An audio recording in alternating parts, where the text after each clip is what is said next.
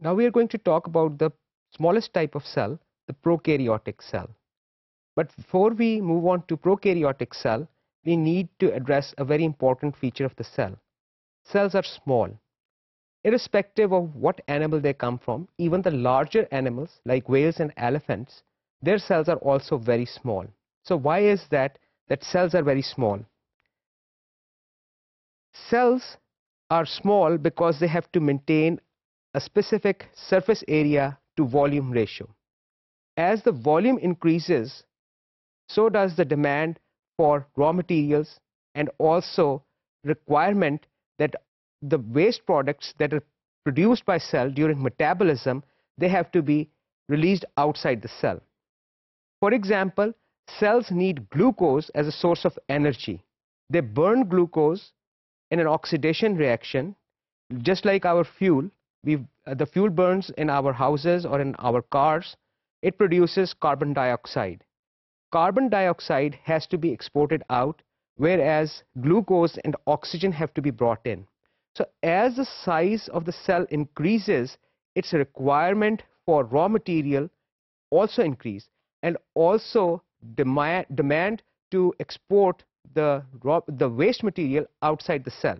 So let's look at the general formula.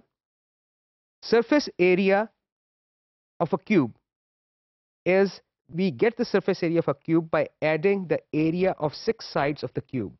So if a cube is one millimeter in each dimensions, the surface area of this cube will be six millimeter. Whereas if we calculate the volume of this cube, it will be one cube, which is also one. So the surface area to volume ratio is 6 to 1. Now let's look at a slightly bigger cube. The cube is 2 millimeters each side. Now if we calculate the surface area, the surface area becomes 24 millimeter. We use the same formula we used previously to calculate the volume. Now the volume will be 2 cubed, which is 8.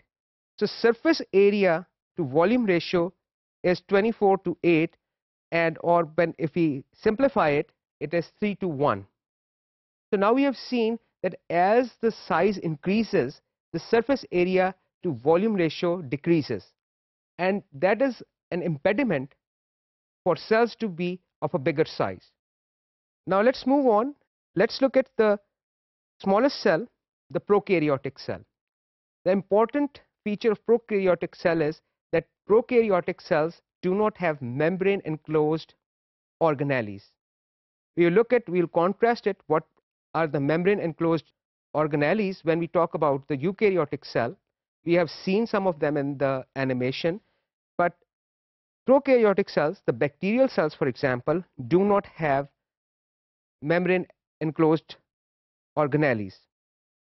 These cells don't even have a nucleus their DNA is present in, in a specific region generally which is called the nucleoid region.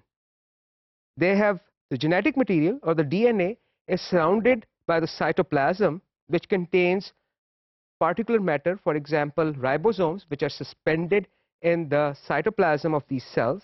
These cells have a plasma membrane which is a selective barrier which is allowing these cells to import certain things and export the waste material. However, the requirement is that cells stay a specific size. These cells also have a cell wall. The cell wall is important for the for maintaining the shape of the cell. Plasma membrane, as we saw, is fluid. It does not have a shape. It adapts the shape of whatever compartment is containing it. So bacterial cells are very small. They're the smallest type of cells.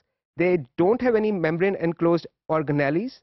Some of these cells have special features. For example, cyanobacteria can perform photosynthesis. It's a process by which organisms capture light.